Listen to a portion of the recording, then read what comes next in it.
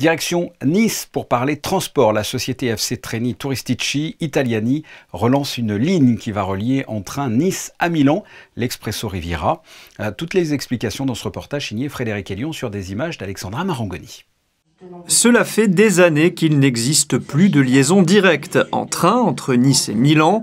Une anomalie en passe d'être réparée avec l'arrivée future de l'Espresso Riviera. Ce projet ne sera pas une ligne à grande vitesse, mais un train touristique. À partir du samedi 3 août, deux trains, un le samedi et l'autre le dimanche, relieront Nice et Milan en environ 6 heures. Monaco ne sera pas desservi pour l'instant.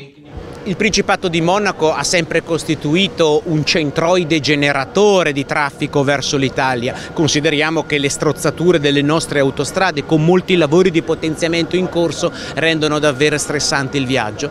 Noi vogliamo portarli in comfort, in privacy e se mi consentite con un tocco di eleganza. Quest'estate il Principato di Monaco non vedrà la fermata per un motivo tecnico, appunto le autorità del Principato ci hanno negato la fermata per la locomotiva diesel, ma ma l'anno prossimo Monaco sarà inserita il sabato e la domenica Les trains seront composés de 7 à 8 wagons avec une voiture restaurant, un salon première classe et un très grand wagon pour les bagages et équipements sportifs.